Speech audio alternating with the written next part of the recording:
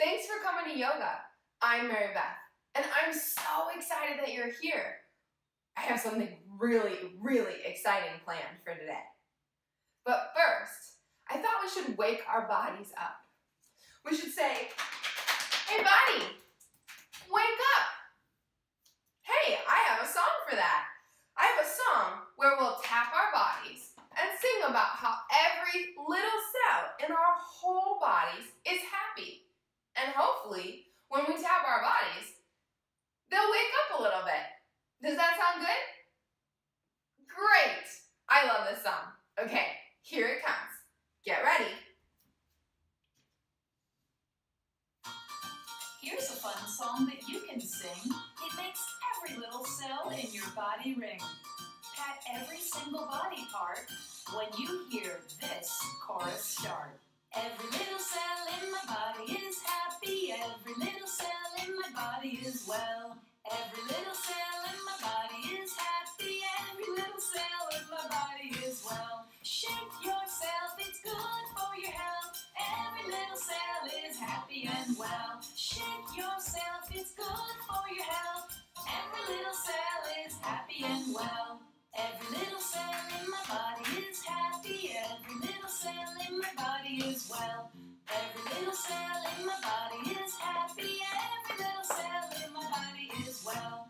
Bend your knees and chair pose, please. Every little cell is happy and well. Bend your knees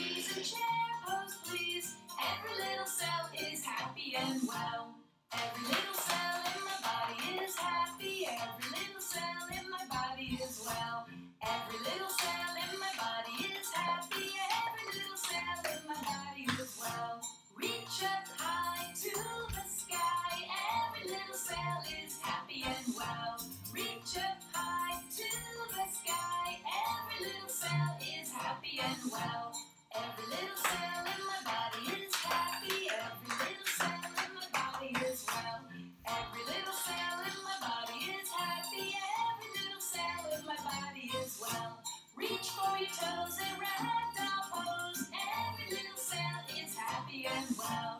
Reach for your toes and ragdoll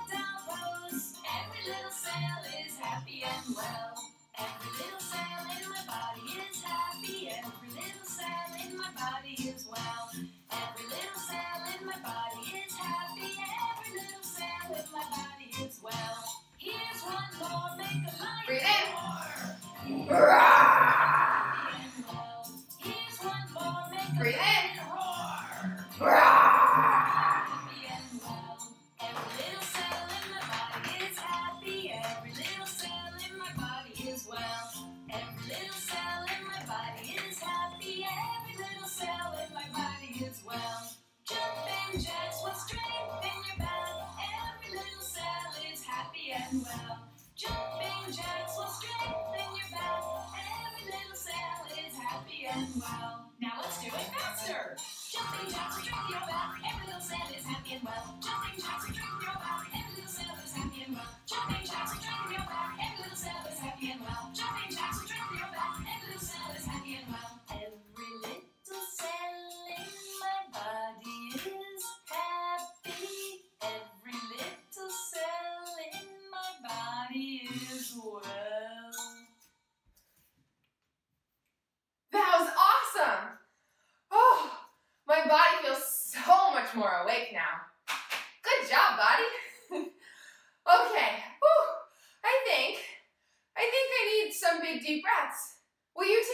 deep breaths with me? Great! Let's all sit down. We'll sit crisscross applesauce, and we'll use a breath ball to take some big deep breaths. So, when I open the ball, we'll all breathe in through our noses. And when I close the ball, we'll all breathe out through our mouths.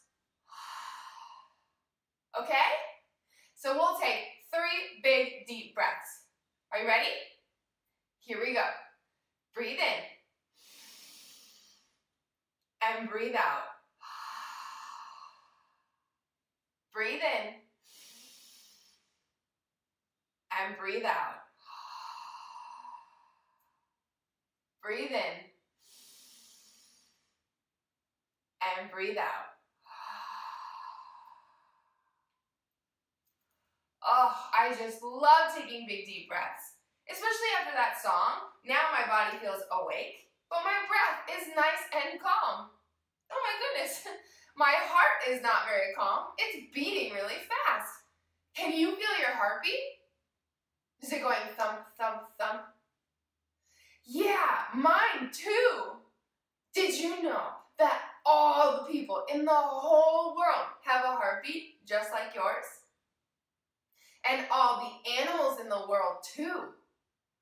Did you know that the whole universe has a heartbeat? It does. We just can't hear it because there are so many things that are so loud.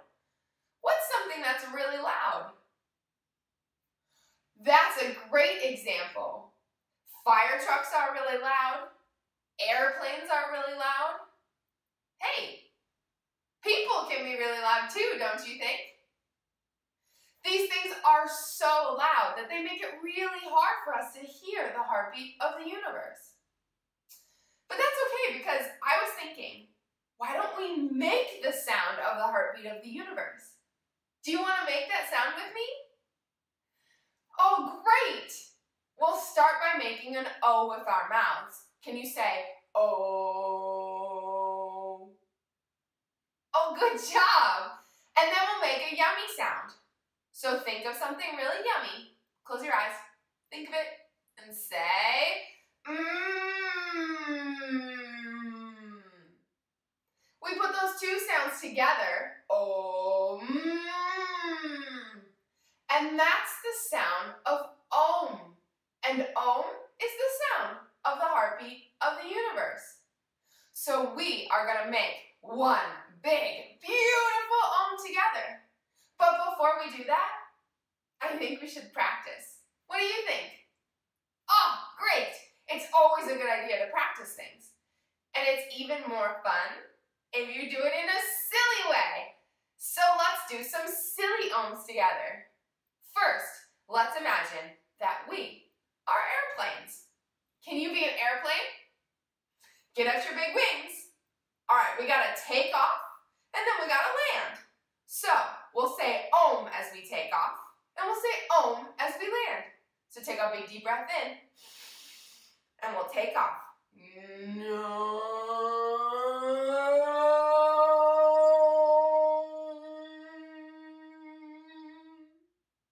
All right, now land your airplane. Take a big deep breath in.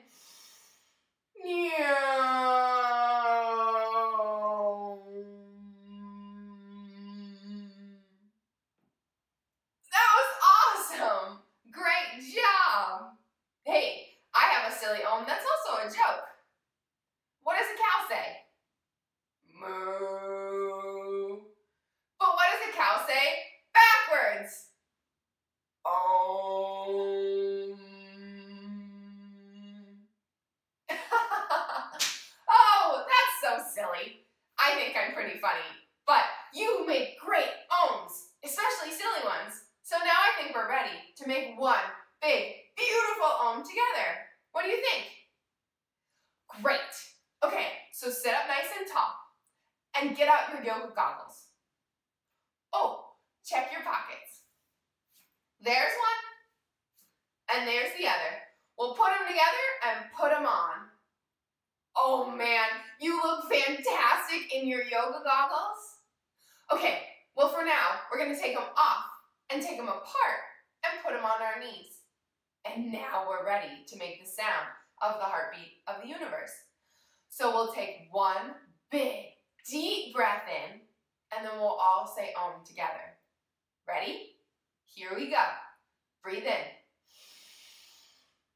Om.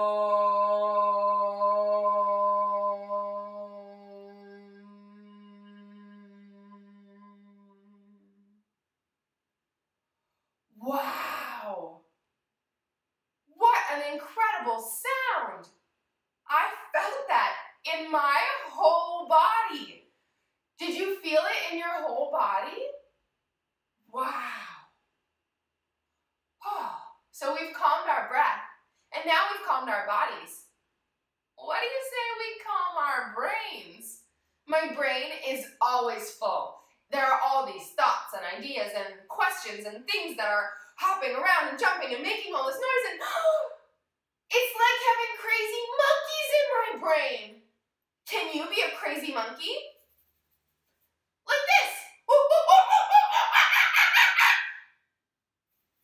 I want to tell those crazy monkeys, shh.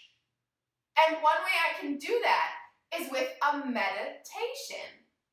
We're going to use a mantra meditation. A mantra is a series of words that you say over and over and over again. And when you do that, it calms your mind and it makes you feel better. Because when we say things over and over and over again, we start to believe them. And the things that we believe, they become a part of who we are. Which is why we always pick mantras that say beautiful and loving things about ourselves, other people, and the whole world. So, do you want to hear today's mantra? Great! Today's mantra is I am safe and I am loved.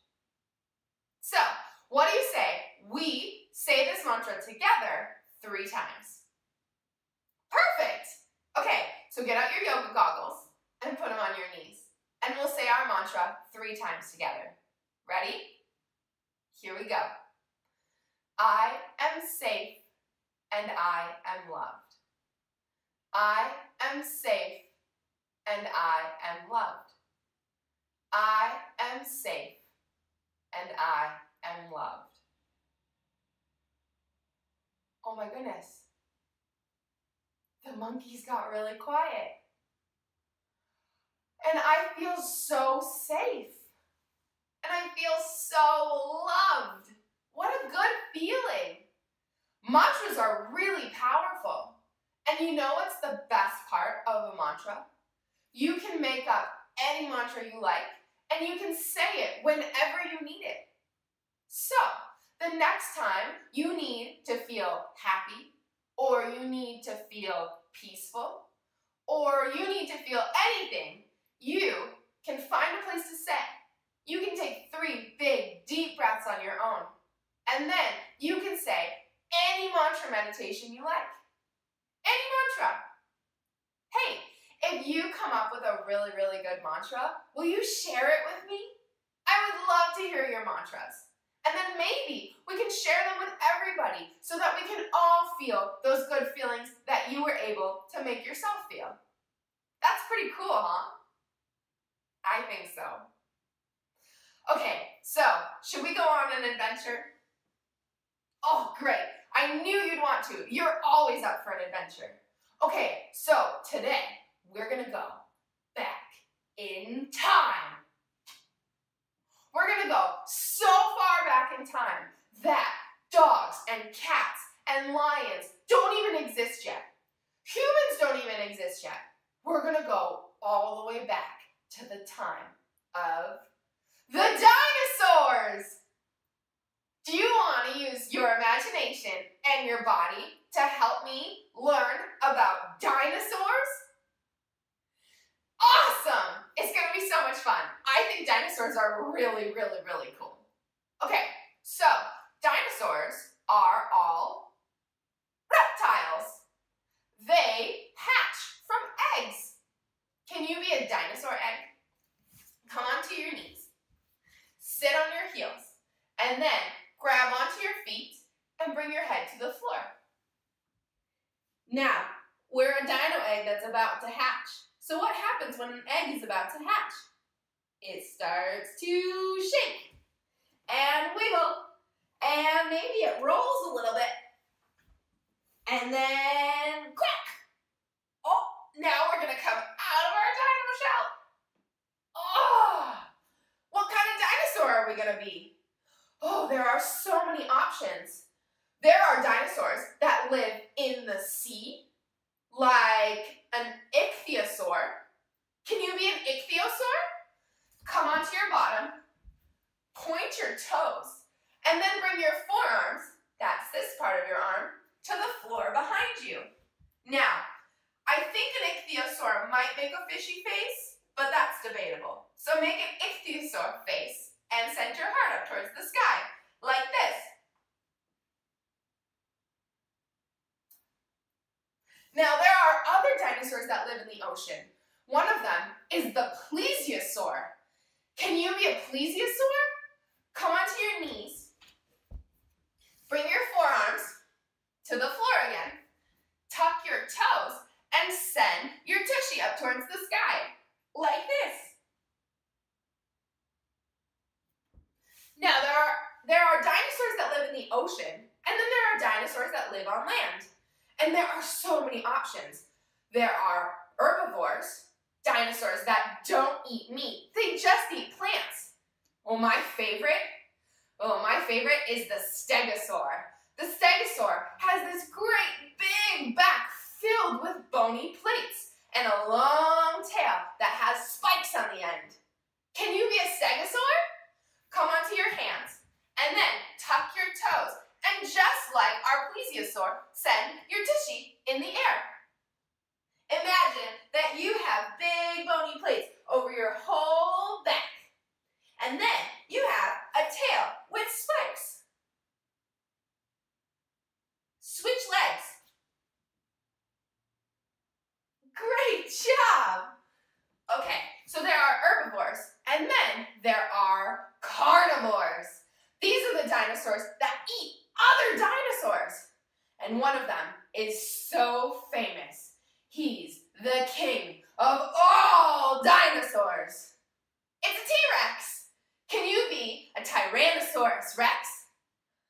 Stand up. Bring your feet towards one another. Then bend your knees and give yourself teeny little arms. And now take a big deep breath in and. Roar! Do it again. Take a big deep breath in.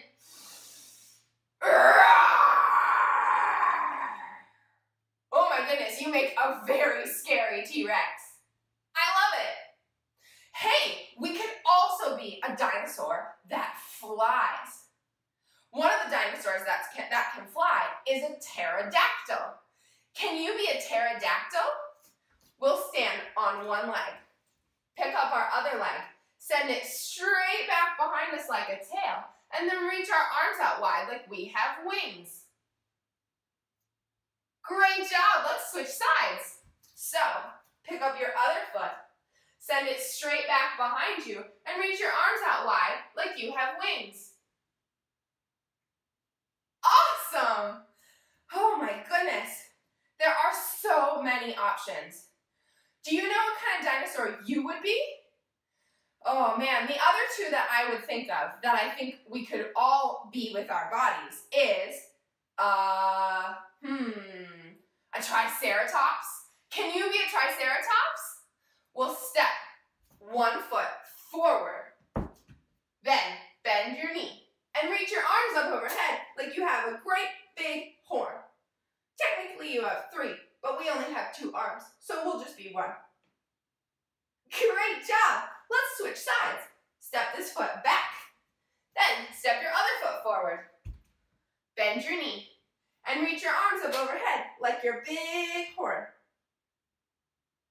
Awesome! Now, the only other dinosaur I can imagine being because it is the biggest and the tallest and I think the most beautiful of all the dinosaurs is the brachiosaur. Can you be a brachiosaur? They're very, very, very tall. So stand up really tall, reach down through your feet and up through your head. Oh no, we're definitely not tall enough. Okay, reach your arms up overhead so you can reach to the very tippy tops of the trees to bring down the branches and ha! Great job! Oh my goodness. Dinosaurs are so cool. And we only learned about a few of them. There are so many other types of dinosaurs, and you could learn all about them. You could learn all about how the dinosaurs died out and then what happened next. What's really interesting is that, did you know, they're pretty sure that the closest relative of a dinosaur is a bird? Isn't that crazy? Oh, I think it's so interesting.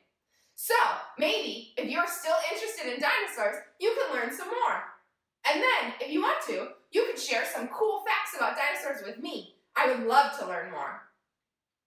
All right, so dinosaur poses are so much fun that I thought we could use them to play my favorite game. Do you want to play freeze dance? Oh, awesome! Freeze dance is my favorite. So here's how it works. I'll put on some music, and when the music is playing, you get to dance. You can dance however you like, but when the music stops, you pick one of our dinosaur poses, and you freeze. So, let's go through our poses again, and that way you know all your options. So, you can be a dino egg. You can be an ichthyosaur.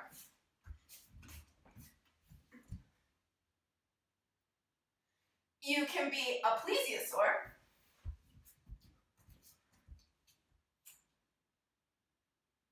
You can be a stegosaur.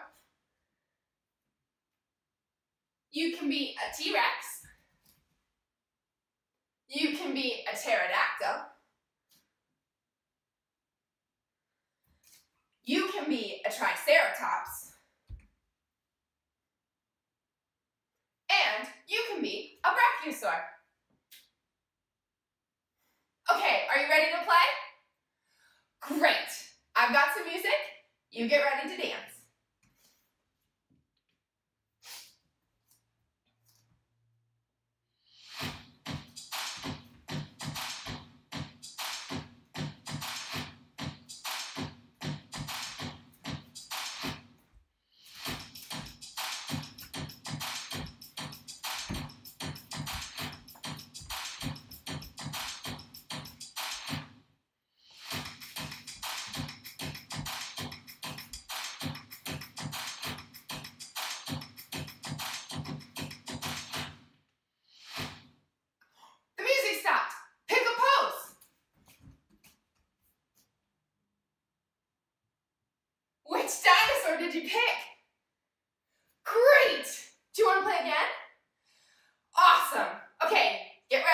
Comes the music.